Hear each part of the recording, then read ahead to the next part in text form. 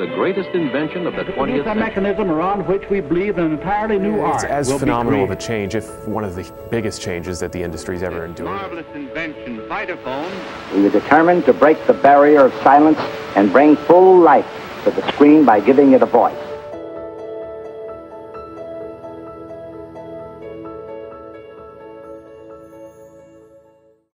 Since the first decade of the 20th century, inventors had been experimenting with creating sound film, but most inventors were faced with a series of problems, mainly amplification and synchronization. Thomas Edison developed a sound film device called the kinetophone in 1913, but the public didn't react well, and after a fire burned down his sound studio, he ceased his pursuit of sound film. In 1922, Western Electric, the manufacturing branch of Bell Labs, created a sound system that would work to synchronize sound with film. What separated this invention from previous ones were improvements of the microphone, transfer of recorded sound to electrical currents, and amplification of the sound.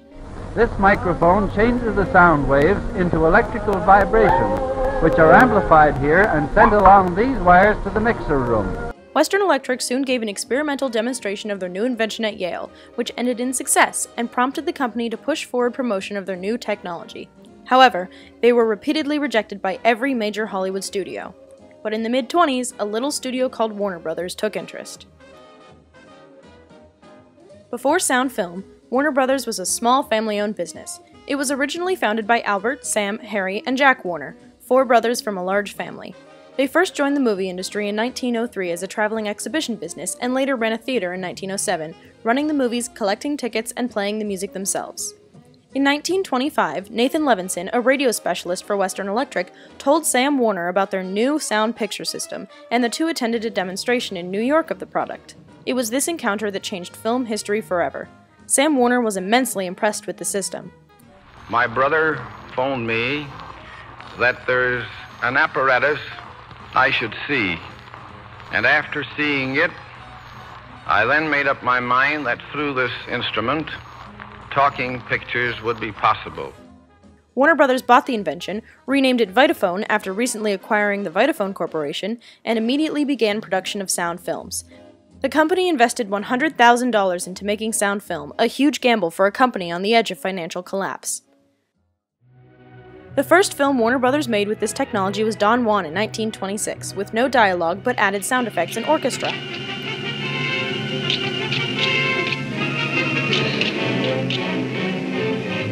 Wait a minute, wait a minute. You ain't heard nothing yet. On October 6, 1927, the movie The Jazz Singer starring Al Jolson became the first talking picture with oh, actual Up in dialogue. A lot of nice green grass up there, and a whole lot of people you know. There's the Ginsbergs, the Guttenbergs. This film was a major turning point in film history, as it was when sound film truly gained its great influx of popularity. The Warner Brothers Theater in New York City, where the jazz singer is now playing, is sold out for many weeks in advance. The audience loved the dialogue scenes of the film, and it was then that Warner Brothers realized people wanted talking pictures and began its journey to becoming one of the biggest film production companies in America.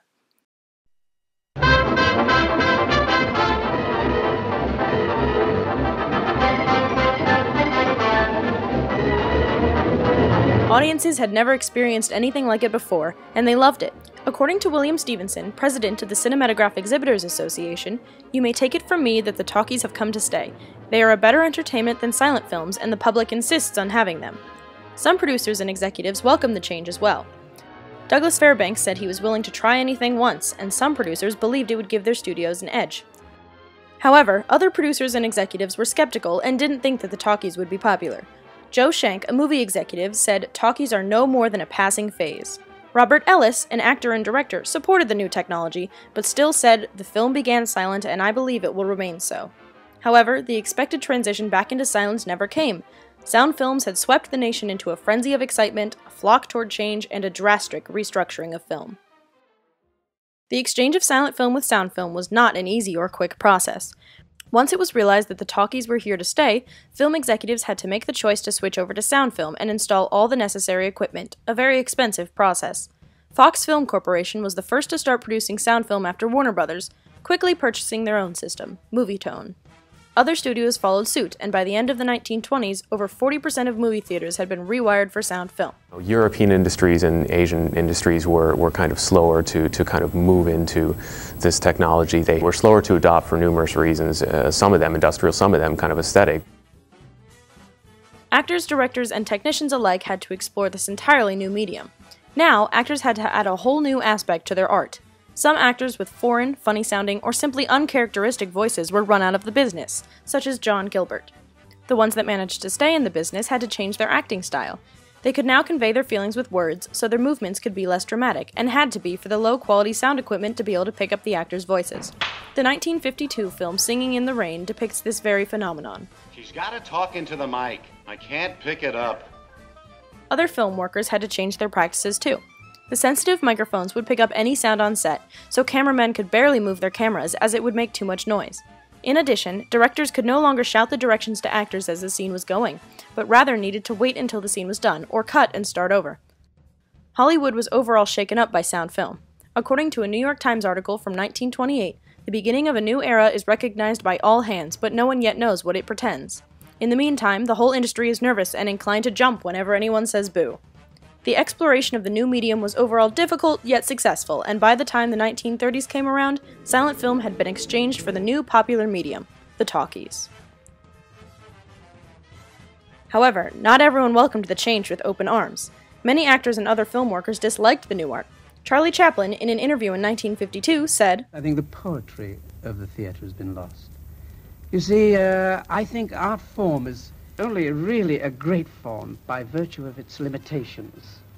D.W. Griffith, the film pioneer, said, We do not want now and we shall never want the human voice with our films. But despite the negative reactions, sound film proved itself a positive change.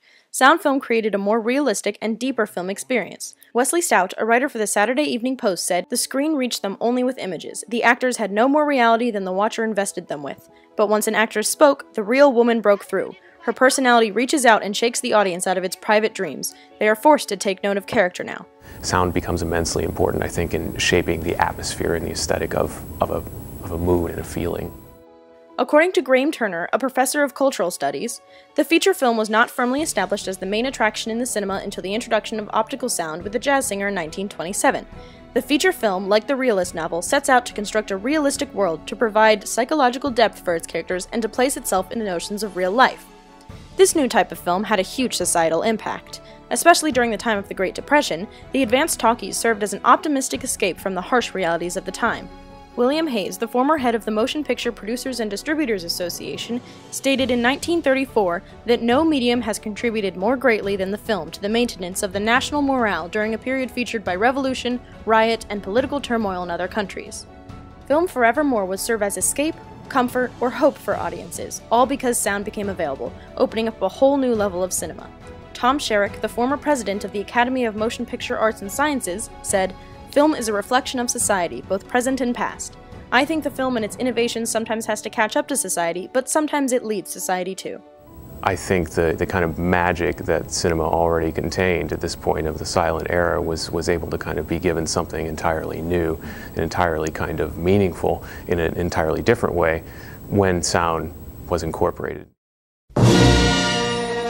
Today, most people can recognize iconic movie themes the second they start playing, Audiences sob over emotional scenes with heart wrenching soundtracks. And individuals recite famous movie quotations. You can't handle the truth! The invention of sound film transformed cinema, and the world would be far different today if the Warner Brothers had never taken the leap they did to purchase Western Electric's invention. It was the encounter between Western Electric and Warner Brothers that led to a dramatic exploration of technology and exchange of film mediums, changing society, film, and the world for the better never fail. If you don't get a letter, then you know I'm in jail. Hey, hey, don't cry, Turkey, don't cry.